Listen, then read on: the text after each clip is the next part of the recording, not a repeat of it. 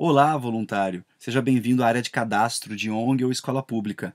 Nesta área, você poderá, em primeiro lugar, nesse quadro verde, fazer o download do termo de adesão. Esse é um termo que cada escola ou ONG participante do desafio voluntário deve assinar e você terá que subir esse termo para poder validar a participação da sua organização no desafio.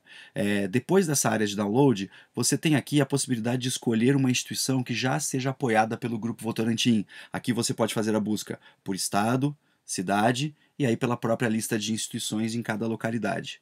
Caso você não encontre aqui uma instituição da sua cidade ou não queira trabalhar com nenhuma dessas que já é apoiada pelo Grupo Votorantim, você pode fazer o cadastro de uma nova organização social ou escola pública. Esse cadastro acontece nessa parte inferior aqui do, da área de cadastro de organização.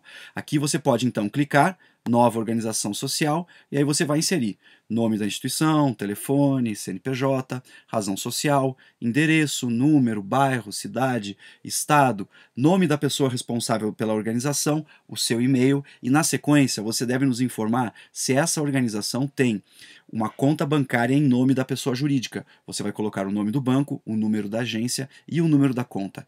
Finalmente, você vai subir no sistema é, escaneado o estatuto e a certidão negativa da organização. Ela deve ser uma organização formalmente é, constituída e sem nenhuma dívida com a, a fiscal a federal. E também vai pegar aquele termo de adesão assinado pela organização e subir aqui nessa área. Com isso, você pode cadastrar uma nova organização.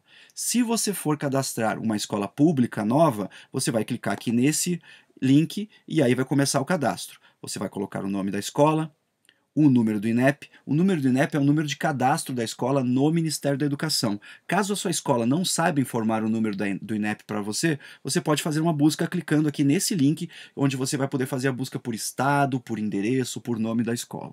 Na sequência, os dados de contato: telefone, endereço, número, bairro, cidade, estado, o nome da pessoa responsável pela escola e o seu e-mail. E Uh, vai ter que também cadastrar os dados da associação de pais e mestres, porque no caso de uma escola, se sua equipe for vencedora, não é possível uh, que a gente faça o depósito do prêmio diretamente para a escola. Esse depósito vai acontecer ou para a associação de pais e mestres, ou então para uma caixa escolar. Então você vai colocar aqui a razão social da, associa da associação de pais e mestres, o número do CNPJ, o nome do presidente da APM.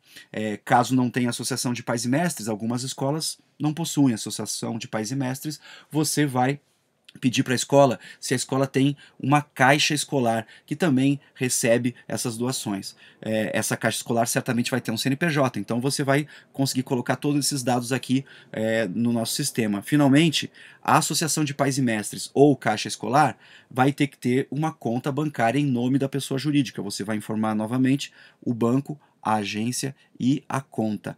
Finalmente, os é, estatuto e certidão negativa, no caso das escolas, não é da escola diretamente. Você deve buscar estatuto e certidão negativa da Associação de Pais e Mestres ou da Caixa Escolar e subir o termo de adesão assinado pela escola. E aí é só salvar os dados.